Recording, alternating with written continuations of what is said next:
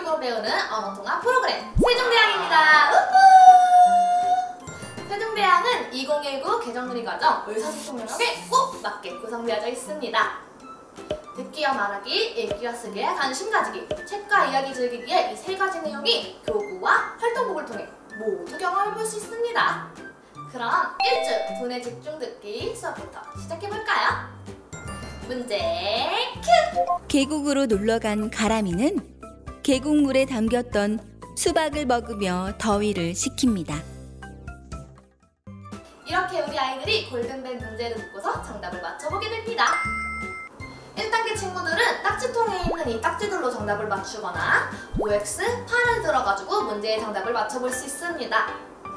2단계 친구들은 제공해주는 이 남매카드를 이용해서 보드판에 슝슝슝 글자 획순에 맞게 정답을 적어보게 됩니다. 3단계 친구들은 이 남매카드를 골든벨 판에 붙이면서 게임을 하게 되는데요. 우리 반에서 가장 예쁜 사람은 선생님! 하고 정답을 맞춰보는 게임을 하게 됩니다. 2주는 리더십 말하기 시간입니다. 말하기 교구는 학기용으로 1학기에 한 번, 2학기에 한 번, 총 두 번 제공이 됩니다. 1단계, 아직 앞에 나와서 말하는 것이 부끄러울 수 있는 우리 아이들을 위해서 가릴 수 있는 표정을 판을 제공해드립니다. 뒤에는 여자친구도 있어요. 내 마음을 대신 전달해주는 매개체로 말하는 개구리 장갑을 제공해드립니다. 아이들이 개구리 장갑을 통해서 자신감 있게 씩씩하게 말할 수 있는 습관을 기를 수 있겠죠?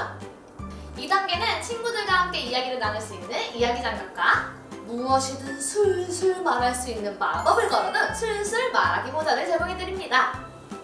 이 모자를 쓰면 우리 아이들 자신감이 슝슝하고 하늘로 솟구친다는 사실 꼭 기억해주세요. 3단계는 다양한 표정과 함께 내 마음속의 이야기를 전달해 볼 수 있습니다. 우는 표정, 또 화난 표정도요. 이 감동 표현과 더불어서 마이크도 제공해 준다는 사실 우리 아이들이 내 마음속의 이야기를 감정에 맞게, 상황에 맞게 잘 전달해 줄 수 있겠죠? 3주 놀이 중심 교육으로 읽기 시간입니다. 아이들이 변화되는 글자에 관심을 가지고 주제에 맞는 여러 가지 단어들을 통해서 어휘력을 높일 수 있도록 다양한 방법으로 제시해줍니다. 이때 한글 챈트송을 같이 들어주시면 우리 아이들이 더 즐겁게 놀이 시간을 즐길 수 있습니다. 4주는 활동복을 통해서 내 생각을 글로 표현해보는 시간입니다.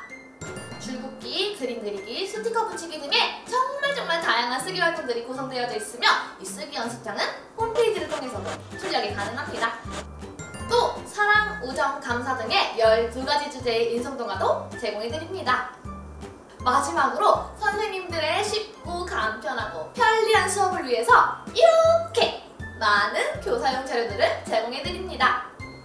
모든 자료는 홈페이지와 어플을 통해서도 마음껏 충분히 활용하실 수 있습니다.